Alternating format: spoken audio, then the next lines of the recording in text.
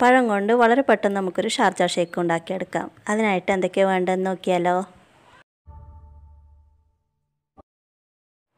അതിനായിട്ട് നാല് ചെറുപ്പഴം എടുത്തിട്ടുണ്ട്. പിന്നെ ഒരു ഗ്ലാസ് പശുപ്പാൽ നമ്മൾ തിളപ്പിച്ചാറിയതിന് ശേഷം ഫ്രീസറിൽ വെച്ചിട്ട് ഇതുപോലെ ഫ്രീസ് ചെയ്തെടുത്തിട്ടുണ്ട്. പിന്നെ രണ്ട് ഓറിയോ ബിസ്ക്കറ്റ് ഒരു ടേബിൾ സ്പൂണോളം നിലക്കടലി എടുത്തിട്ടുണ്ട്. ഏത് നട്ട്സ് വേണമെങ്കിലും നിങ്ങൾക്ക് ഉപയോഗിക്കാം കേട്ടോ. അപ്പോൾ അതാ നാല് പഴം നമ്മളിതുപോലെ കട്ട് ചെയ്ത് മിക്സിന്റെ ജാറിലിട്ട് കൊടുത്തിട്ടുണ്ട്.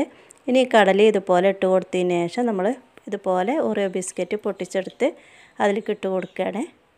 ഓരോ ബിസ്ക്കറ്റിലെ ക്രീമൊന്നും നമ്മൾ ഒഴിവാക്കണില്ല കേട്ടോ. അതും കൂടെ കൂട്ടിയിട്ട് അടിക്കുമ്പോഴാണ് ഒന്നുകൂടെ ടേസ്റ്റ് കൂടുന്നത്. പിന്നെ നിങ്ങൾക്ക് ഇതിൽക്ക് ബൂസ്റ്റോ ഹോർലിക്സോ ഒക്കെ ഇഷ്ടമുള്ളവർക്ക് അതും ഇട്ട് കൊടുക്കാം കേട്ടോ. ഞങ്ങൾക്ക് ഒന്നുകൂടെ ടേസ്റ്റായിട്ട് തോന്നിയിട്ടുള്ളത് ഈ ഓറിയോ ബിസ്ക്കറ്റ് ഇട്ട് കൊടുക്കുമ്പോഴാണ്. അപ്പോഴത്തെ നമ്മൾ ഫ്രീസ് ചെയ്ത് വെച്ച പാലും ഇതുപോലെ ഒഴിച്ചു കൊടുത്തിട്ടുണ്ട്. ഇതിലേക്ക് നമ്മൾ രണ്ട് ടേബിൾ സ്പൂണോളം പഞ്ചസാരയും കൂടെ ഇട്ട് കൊടുക്കുന്നുണ്ട്.